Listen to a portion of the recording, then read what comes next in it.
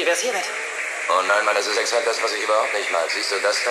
Los von einem schlaffen Arsch, okay? Ich hasse nichts mehr als einen beschissenen schlaffen Arsch.